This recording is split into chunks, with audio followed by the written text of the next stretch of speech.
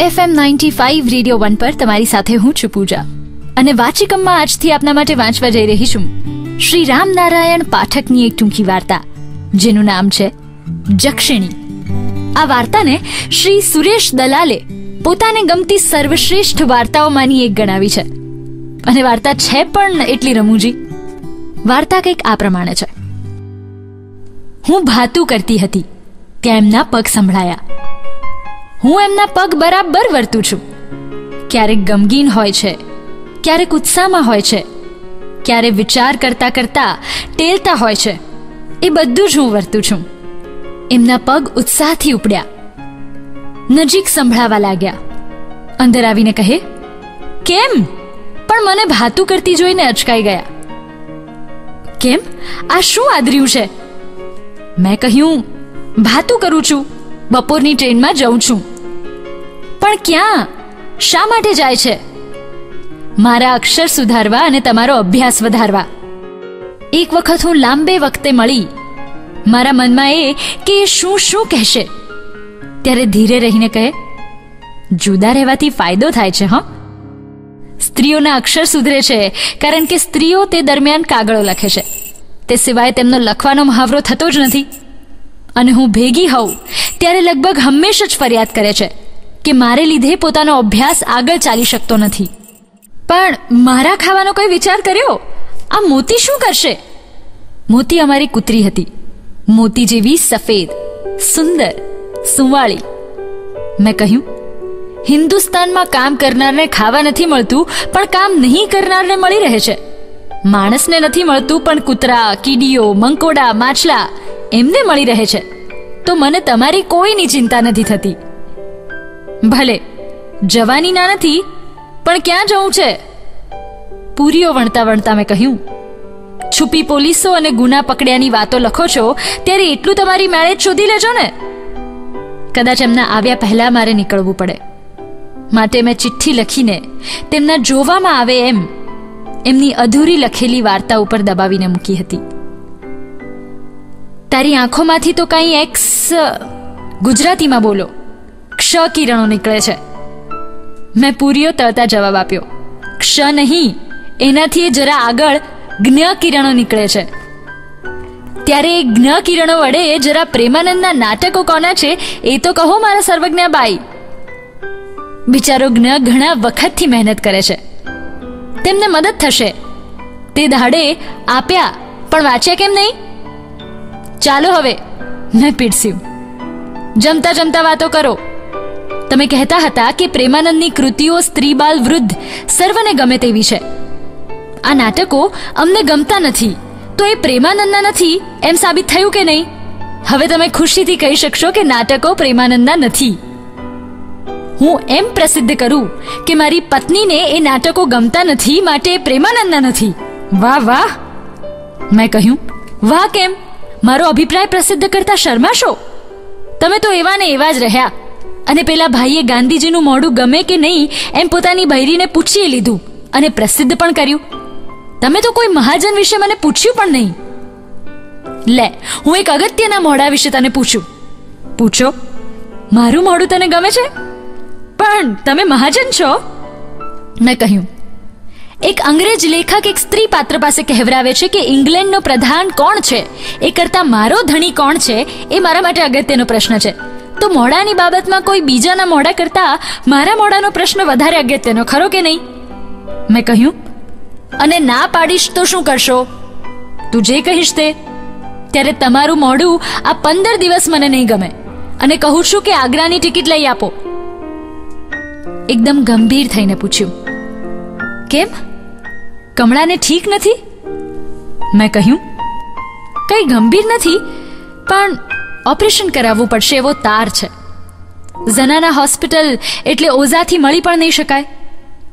હું એટલા દિવસ કમળા સાથે રહીશ. ઓઝા દંપતી અમારા સ્નેહી હતા. આમ પતિ પત્ની વચ્ચે એક હળવી મજાકથી વાતચીત શરૂ થાય છે.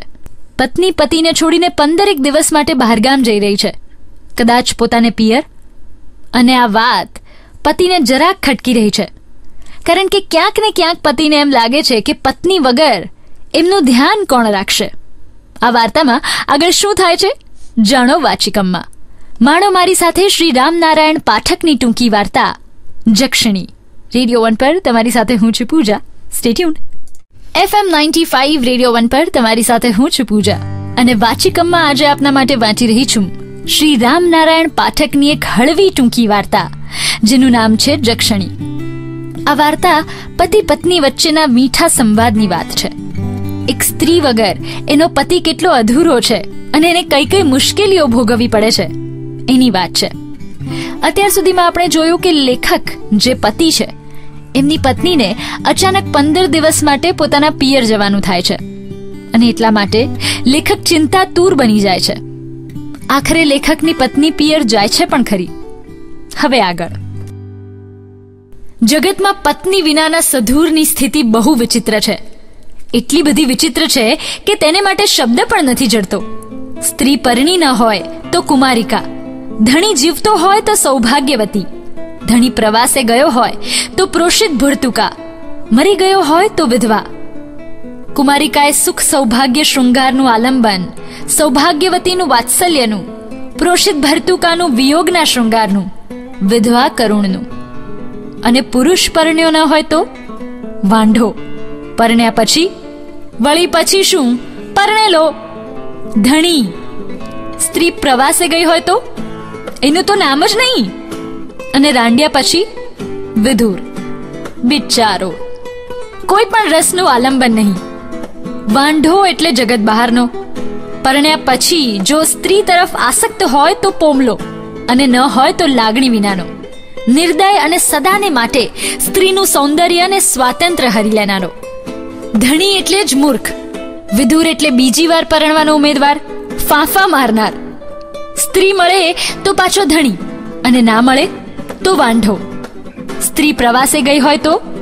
તો શું? કઈ એક દિવસનું છે? કોને ઘરે જવાય? અથવા થોડા દિવસ તો ગમે ત્યાં કાઢી નાખશે. પણ કોઈ દિલ સોજી ધરાવે નહીં. દિલગીર દેખાવા જઈએ, પણ કોઈ દિલગીરીનું કારણ જ સ્વીકારે નહીં.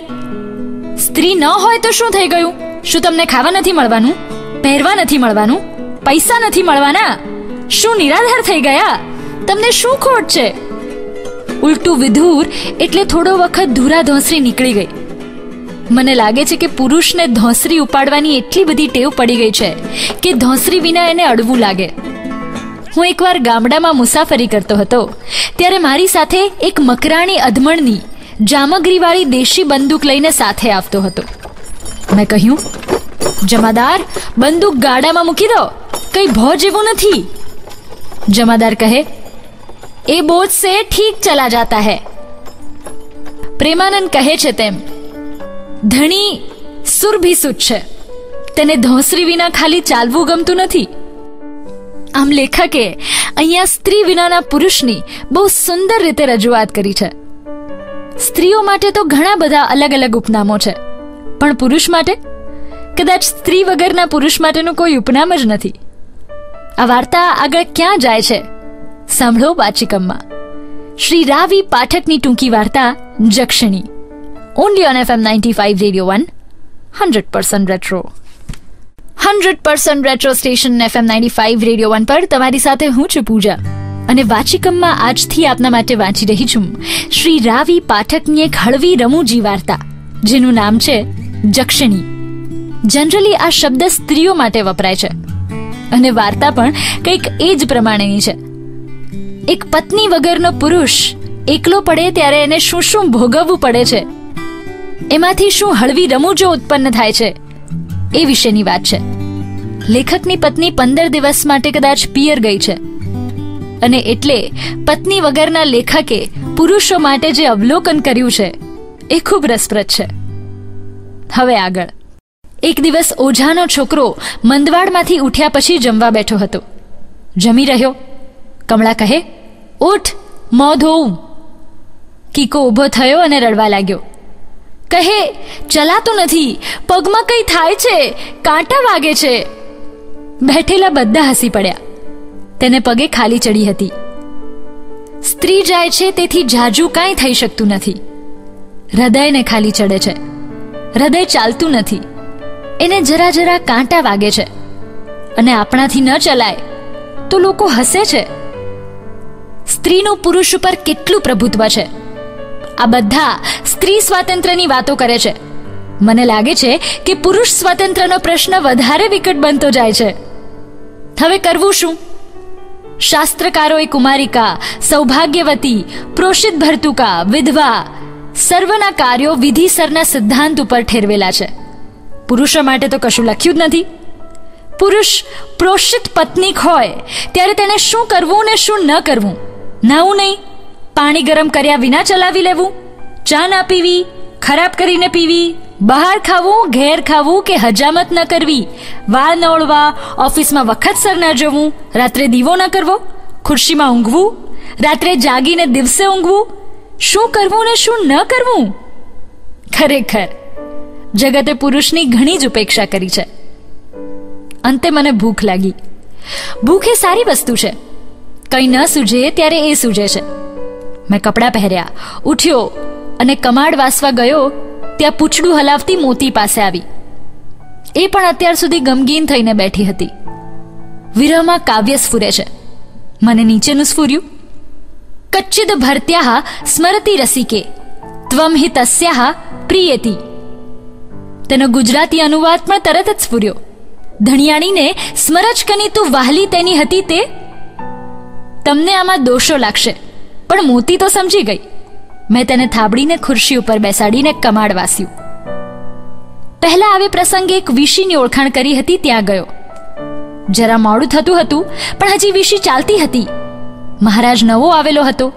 પણ જાણે ઘણા વર્ષથી મને ઓળખતો હોય તેમ કહે, ઓહો સાહેબ, ઘણા દિવસે આવ્યા, કેવા દુબળા પડી ગયા છો. અહીં જમતા ત્યારે તો શરીરે સારા હતા. હું એની પ્રગલ્ભતાથી ઘણો ખુશ થયો. મને જાણે વિચાર કરવા રમવા એક નવું જ રમકડું મળ્યું. આમ લેખક પોતાની પત્નીના પિયર જવાથી ઘણા દુઃખી છે. અને એટલે જ કદાચ એમને આ બધા વિચારો આવી રહ્યા છે. ફાઇનલી લેખકે જમવાની વ્યવસ્થા એક વિશીમાં કરી છે. અને એ વિશીમાં પહોંચ્યા પણ છે. હવે આગળ શું થાય છે? આ વિશીમાં એમને કોણ મળે છે? અને એમાંથી કયું નવું હાસ્ય ઉત્પન્ન થાય છે? એ જાણવા માટે આવતીકાલે સાંભળવાનું ચૂકતા નહીં. વાચિકમ ત્રણથી ચાર. જ્યાં આપના માટે હું વાંચી રહી છું. શ્રી રાવી પાઠકની ટૂંકી વાર્તા, જેનું નામ છે જક્ષણી. સ્ટેટ્યુન્ડ